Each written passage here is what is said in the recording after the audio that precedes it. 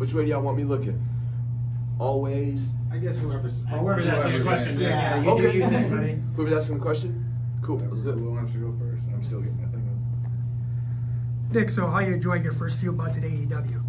man, this I've been in for about six, seven weeks now, and let me say, to be in six, seven weeks and to already be doing Wembley Stadium, this is crazy, man. So this this past like few weeks has been some of the best times of my life, probably the best time of my life, and being able to perform on a stage like this, like AEW, in front of thousands of people every week is something that I feel just very truly blessed to be able to be a part of and i can't believe it's happening all at 18 years old so this is it's a dream come true i feel like i'm dreaming half the time i'm alive man Now Yeah. that you've gotten to finish school, like what's the biggest thing now that you're out just doing straight wrestling? What's one of the biggest shocks you've had now that you're, you know, fully out on the road and have full time to be doing what you want to do now?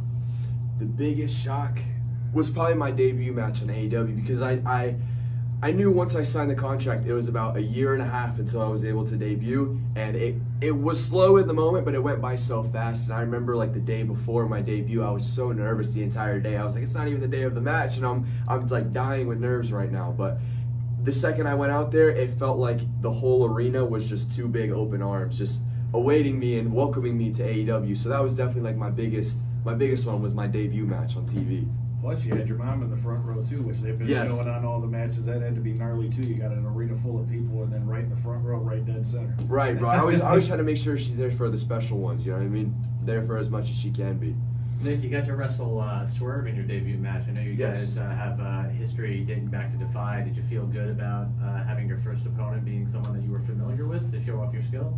Uh, I did, yes. So me and Swerve, like you said, we have had our kind of passed in Defy, our two matches, and uh, both of them were match of the year contenders for Defy and Independent Wrestling, going over half an hour, and uh, it, it definitely felt like uh, I don't want to say more comfortable, but it's like we know each other inside out. You know, you kind of hear that all the time, but it's really me and Swerve are the definition of knowing the other inside out. So being in there with him, knowing that I know his tricks and he knows mine, it was a little curveball, but at the same time, I felt more confident going into it with it being Swerve. Uh, well, you guys had a great match, and I hope uh, we look forward to seeing more work of yours uh, at, in AEW. So, Thank you so much.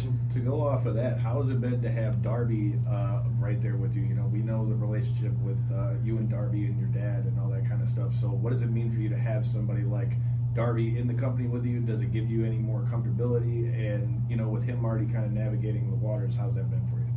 it's definitely like somewhat more comforting. In Darby, it's like I was there for his first day of training, and we literally grew up training together. So being there with Darby and then being here, like thinking eight years ago we were together training in this garage in a shed, and now we're on national TV every week. And Wembley Stadium was one that really hit me hard. I was like, I can't believe we used to be doing this and now we're performing on the biggest wrestling event of all time. It was a very big emotional moment for me, and I just.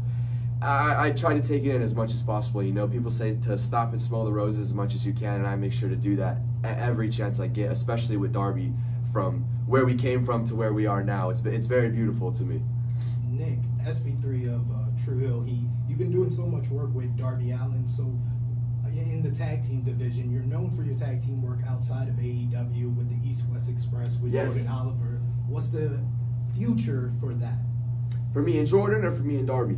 For you and tag team wrestling, whether it be with Darby Allin and AEW or whether it be with the East West Express outside of AEW or potentially in AEW. What do you think about that? Ooh. so I feel like what's very cool about me and Jordan and me and Darby is our personal relationship outside of wrestling. You know, I the day I came to GCW, me and Jordan we clicked instantly, and we were constantly on the road together, traveling together, staying together, wrestling together. We were training before shows. And it was we just we clicked instantly, and I remember we got thrown into a tag match just cause, and we had this chemistry, and we were on the same beat, doing things at the same. It would look like a mirror, and it was like maybe we have something with this. So we took it and we ran with it, and we ended up doing tours in the UK together and Japan. It's it's crazy. So me and Jordan, I want to continue to do the East West Express as long as possible, and same with me and Darby. Like we were talking about, we have this special connection with each other where when we're in the ring, we click. You know, we we know each other. We know what we can do as a team. We know we can do as singles, but put it as a team, it's a whole nother game. You know, and me and Darby, we kind of have this thing about each other where we're I don't want to say reckless, but we're willing to do whatever it takes. You know, we'll throw our body into the wind. We'll do whatever it takes to win and to get jaw drops and eye open. You know what I mean? So, Yeah. East West Express or me and Darby, I want to continue to do it as long as possible. Nick, uh, is such a hot fan base, and Yes. you had a chance to wrestle Storm Grayson at Freelance Wrestling. So, what's it like wrestling in front of a Chicago crowd? the Chicago crowds, man, specifically uh, Storm Grayson at Freelance. Freelance Wrestling specifically has this vibe that is just different, man. It is different. Let me tell you a true story, actually. When I first started doing GCW, it was maybe my fifth state I ever wrestled in. They took me to Chicago. It was my third GCW show ever. They took me to Chicago, and I remember I was there for a whole weekend. I had three matches, and I was I couldn't believe it. I was like, Chicago is so sick. And I just, every time, I wanted to come to Chicago. Every time they were like, we're going to come back to Chicago. Please bring me. So whether it was for GCW or Warrior Wrestling or freelance, the Chicago crowd is just different. They got this vibe about them. They got this energy that makes you really feel it. And it's, it's, it's something different. I'll tell you, Chicago is like no other crowd. You've done so many things um, in your like in your young age. As far as do you have a bucket list of other things that you want to do in your career? Absolutely, yes. So I, it feels kind of weird to say sometimes, but it's it's awesome to achieve so many things at such a young age. But it's also I have so many things uh, that I would like to achieve. Uh, is it cool if I name a few? Sure. Uh, obviously, I'd like to make a huge impact on AEW and be one of the best on the roster, and I want to win championships. And I feel like it could be possibly realistic going forward to maybe shoot for a TNT champion or a TBS champion, and hopefully one day become a world champion or even a tag team champion with Jordan or Darby. And um, but AEW, I want to win championships. I want to wrestle the best, leave a huge impact on AEW. Outside of AEW, I would like to be a part of the best of Super Juniors for New Japan Pro Wrestling. And if stuff with New Japan went forward, become an IWGP Junior Heavyweight Champion. And um, I just, I really, going forward, I my biggest goal is to make a huge impact on professional wrestling as a whole, and that everyone remembers the name Nick Wayne one day, and hopefully all that I've done by whenever that is.